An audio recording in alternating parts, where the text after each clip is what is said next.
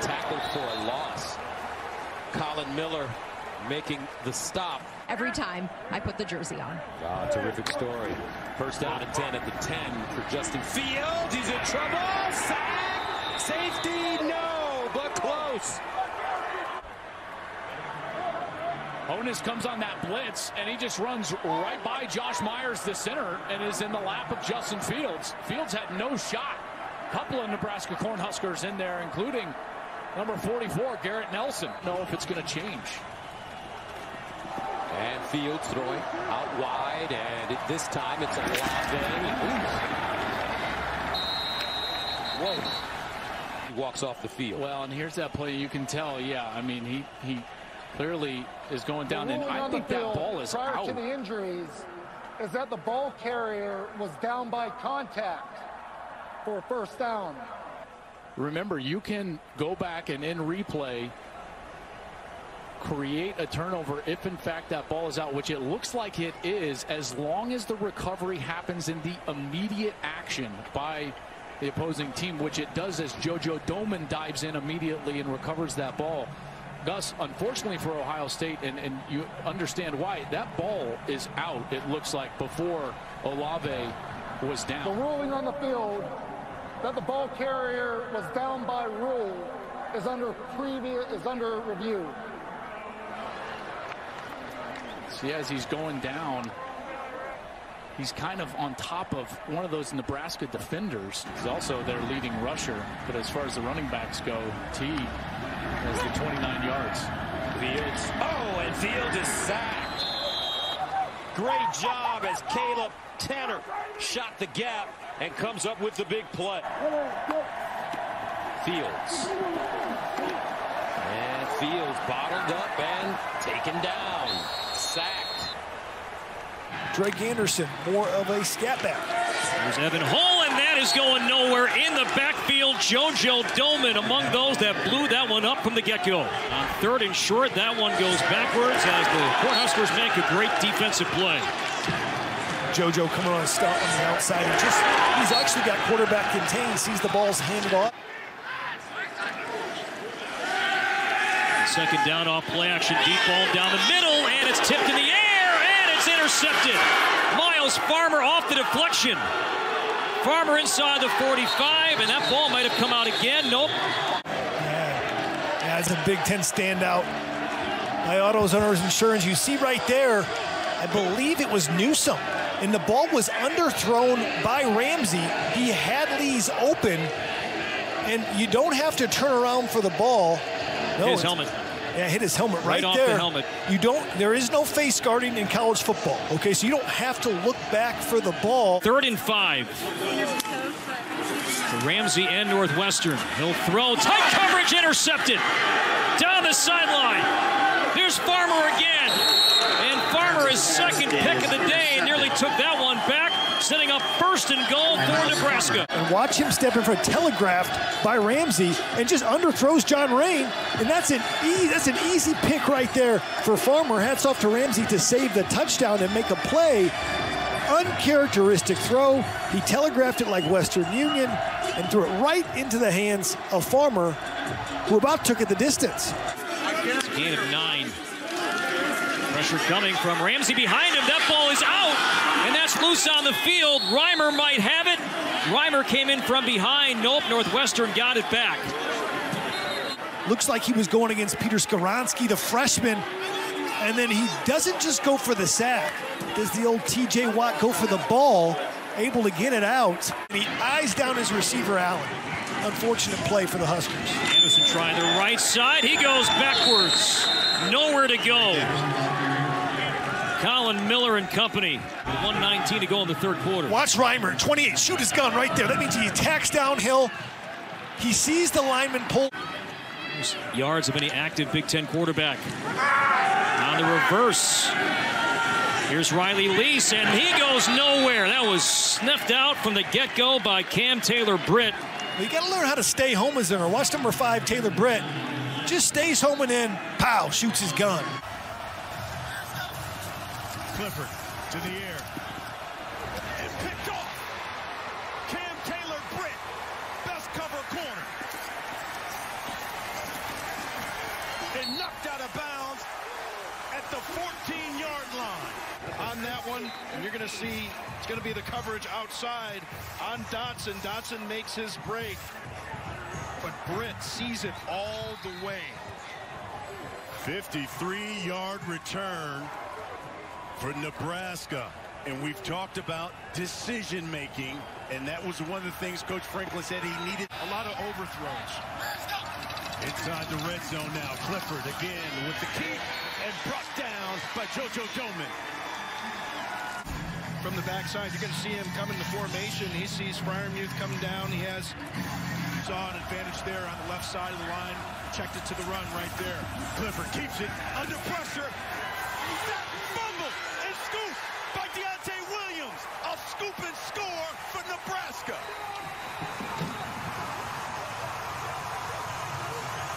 In the quarterback position. You see Deontai Williams, he was lined up on the edge of the line of scrimmage right there. He does a nice job reaching his arm around on that one, popping the ball away from Clifford. From the seven. That's Fuller. He ran into a red brick wall.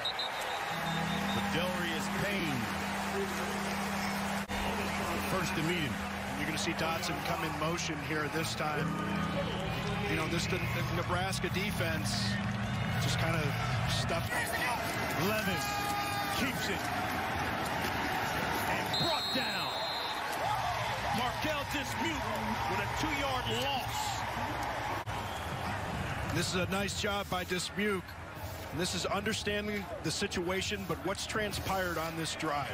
They know that Will Levis had dropped back a number of times and taken off like that. Muth has been out of the game quite a bit today. Oh, and Levis gets driven back by JoJo Domann.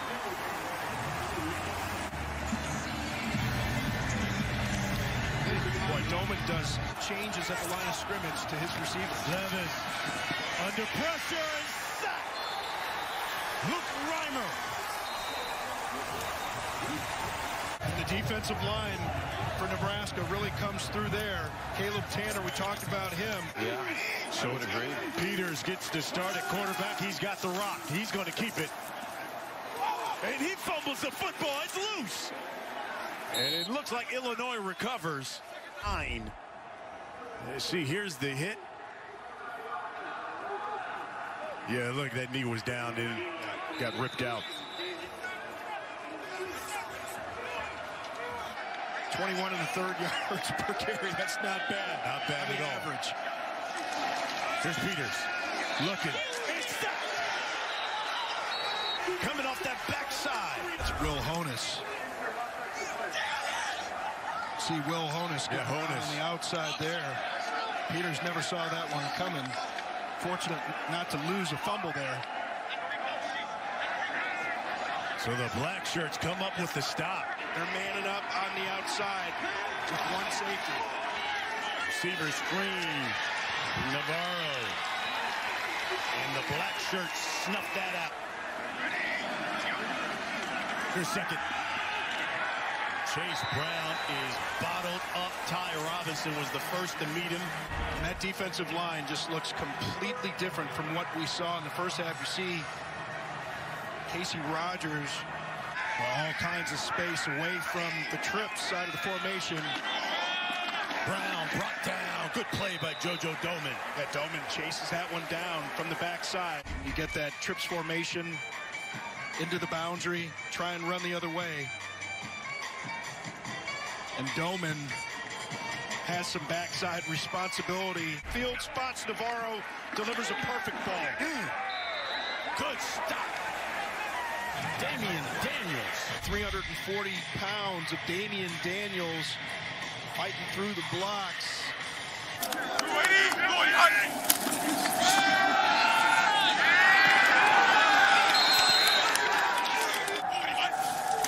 Goodson. And hit behind the line of scrimmage. Marquel Dismuke again. From the eye, it's Goodson. And he's got it. He ran into a field of Cornhuskers. Damion Daniels the first to meet him. Going to use the fullback to try and lead block. Never even had an opportunity to get there. Damion Daniels, nice job. You know what? The next day was right back at the facility. Petras, plenty of time. Throws and picked off to Gabriel Boodle. Next to pick. Fifth pick of the season for Petras. Running back's job there to take it the rest of the way. Goodson again. And tripped up by Reimer. Get some other tacklers an opportunity to rally to the ball. Petras, throw, caught. Smith Marsette, fumbled, but out of bounds. You see Smith Marsette. Woo! That thing just got locked out. Only able to get three. Petras under pressure and sack. Casey Rogers gets the sack. Remember, Purdue did convert a third and 10 last drive.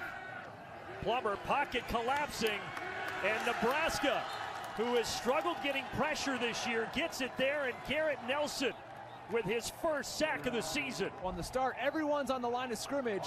A lot of confusion. They rest just five. What that does, Brandon, it gets one-on-one for each single defensive player. They get a one-on-one rush. So Purdue facing another third and long, and here comes the pressure. Stille, he gets in for the sack. Yeah, there's Ben Stille right here. Working on the inside on Sam Garvin and a nice swim move and able to finish the pass rush nicely for the sack.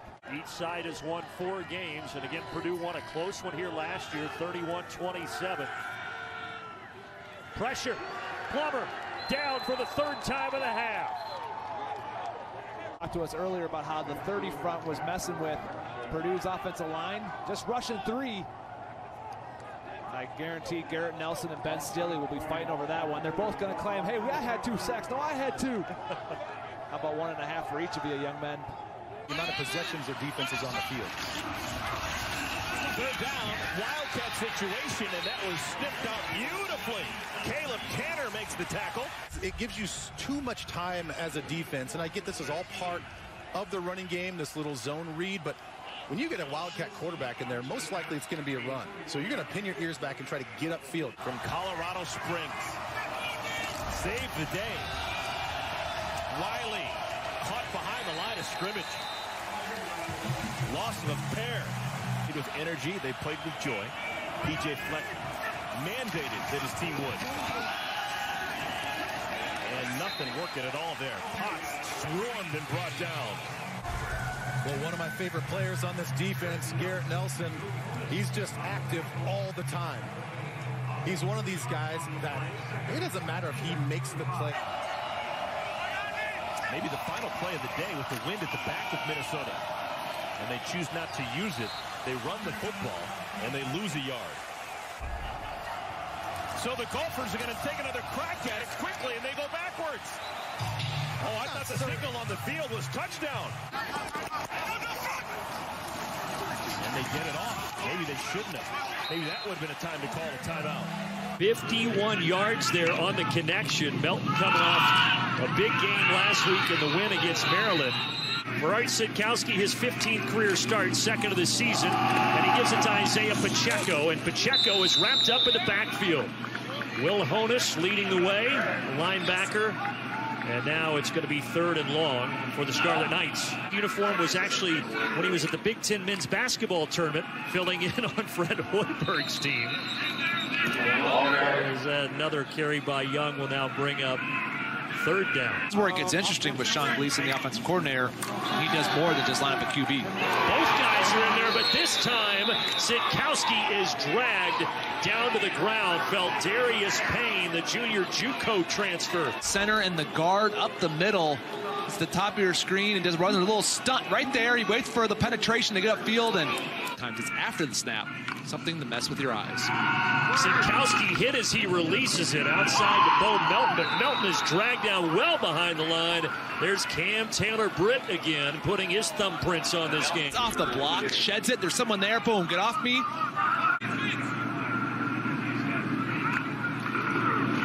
Langan keeps, and Langan's not going to get anywhere near there. Garrett Nelson coming away fired up. He makes the stop, Nebraska football. On your screen, he's going to be unblocked and watch the, the hustle.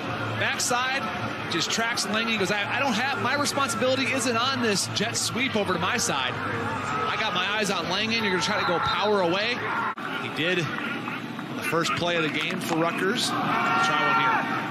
Second down and eight. Well, Sitkowski had time, and then the pocket collapses. They're going to say that's a free ball. Pacheco jumps on it, shooting in there. Yeah, Tanner runs a stunt, comes up the middle of the field, and you're right. Even if he didn't throw the football, it definitely went backwards. So that's a lateral, which would make it a fumble. Langan throwing off his back foot, just heaving it downfield, and Cam Taylor Britt rises to intercept it. An inopportune time to throw that first pick, and a nice job by Taylor Britt to climb the ladder.